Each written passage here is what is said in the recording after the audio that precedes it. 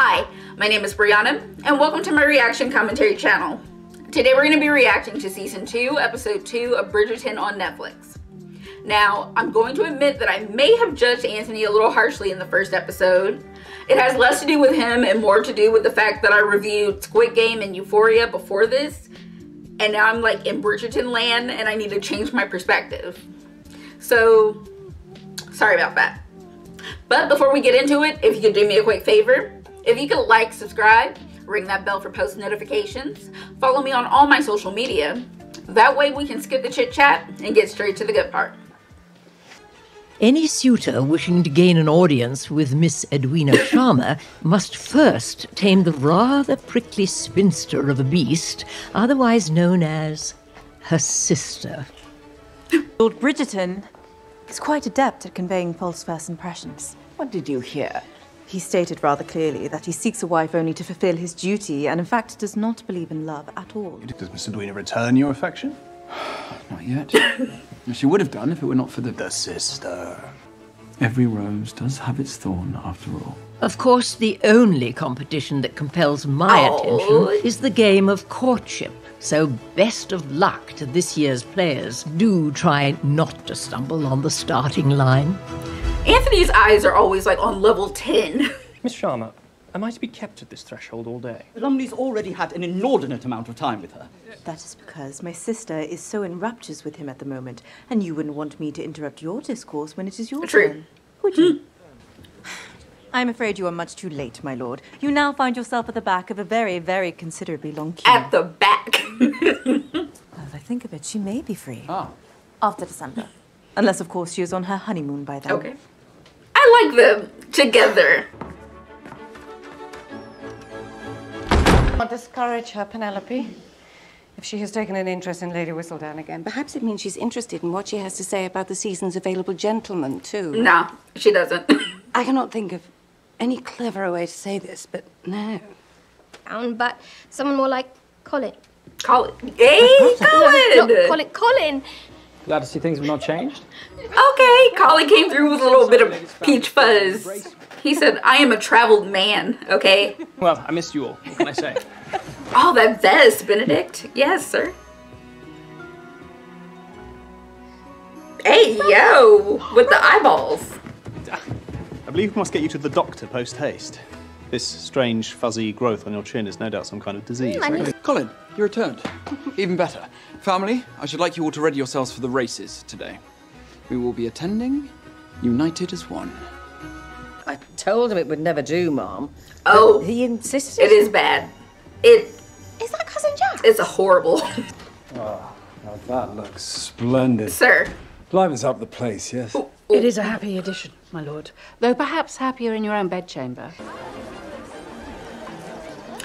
The co- Ooh, Lady Danbury, ma'am. Yes, ma'am. This outfit. But my sister already has an escort for today, Mr. Dorset. That is very well, though I was hoping to speak with you.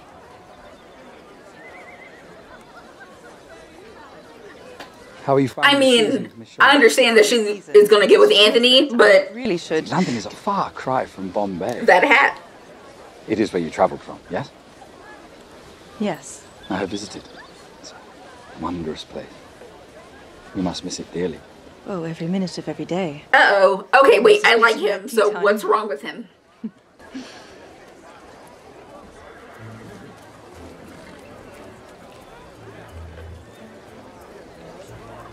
Eloise, are you listening to me? What do you have in your hand? Nothing, Mama. It's only a pamphlet on new methods for the tidying dogs, apparently. Well, a lady is allowed her hobbies, is she not? Thank you. Uh oh. Something has caught Eloise's eye, but it's not a man, unfortunate for her mom. Lord Bridgerton. Miss Sharma, Miss Edwina, Lumley. How delightful to see you, my lord. Lord Bridgerton, allow me to introduce myself.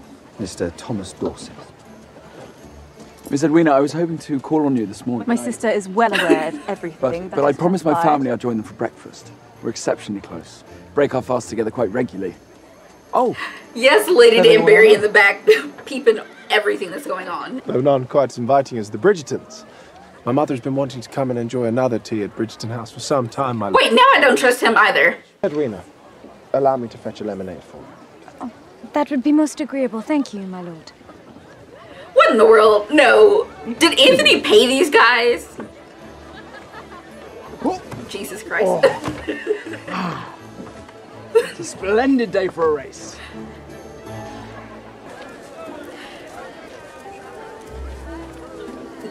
yeah, she's like, oh, please notice me in my very bright yellow. Colin, what's up? I had wanted to hear more about your travels. I thought you would have been bored of my travels by now. You read and replied to more of my letters than anyone else. I suppose I did, though there was always so much more to say than one can put onto the They're so cute. I ship it. I want it to happen. Well, I was never on my own, of course. I see. You met someone. And I finally found you. You always do. I'm not that you're already on my way. Penelope is like, How girl, I'm getting tired too? of you. I believe I've made a discovery. Whistledown's new printer. It's impossible. To mere mortals, perhaps, but I'm beginning to sense my true power now. Do you notice anything about the way this pamphlet feels? Like paper. Precisely. The paper stock is the same texture as that of Whistledown. Does not all paper feel the same? Eloise, the detective. I need a spin-off. Eloise, trust your gut. You already know. You already know. Lord Lumley seems to have got lost on his journey. She is so bothered. I'm happy to search for him. It was the Viscount who insisted on refreshments. Perhaps he might go. With the ra- Which one is your pick, my lord? Edwina. nectar. Well bred, highly trained, and well favoured. Nectar, really. Yes. I have a feeling about him. A feeling. Pardon me? Oh, their natural competition with each other is actually like just delicious. They're going to argue all the way to the wedding altar. You think too much about it. And you too little. It seems your guest has caught the attention of the Viscount, Lady Danbury. It would seem so. you do understand that as Miss Edwina's sponsor, I should like to remain neutral until she has made her choice. Of course. But as your friend, I will tell you there may be Uh-huh. an obstacle in your son's path. The elder sister seems set against the match. It seems Miss Edwina desires a love match, something the Viscount clearly does not. My apologies for the delay. Not to worry. Lord Bridgerton has been keeping us entertained. I'm quite certain he has. Okay, Anthony is so paid these guys. This makes no sense at all.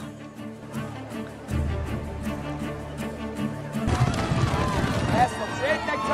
And now high fly, steady! Yes. Steady! Steady! And now high fly, Okay. You think? Yes, I'm having such fun. The intensity. Get it.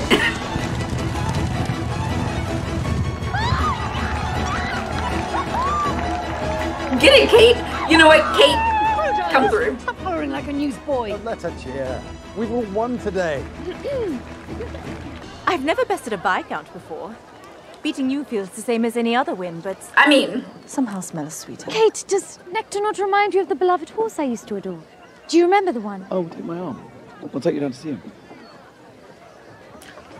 Oh, take my arm. Excellent idea. I like that. Okay, I like that. Miss Sharma, I must. Okay. Why do you? The Viscount does not like to lose. He's never stomached it, even back at Oxford. Oh, Miss Sharma, I, uh, You and the Viscount know each other from Oxford. I thought you met today. I have said too much. You are going to say much more this very moment. He thought that you would judge me if you knew we were acquaintances, but I must assure you that my interest in you today was genuine. On Genuine my in the sense you were sent here to distract me, also Lord Bridgerton could get closer to my sister. Leaving. I've heard of a sore loser, Miss Sharma, but never a sore winner. Do not speak to me or my sister ever again. What has happened? It seems a second game was afoot today, and Lord Bridgerton made certain I play the fool. Let us go.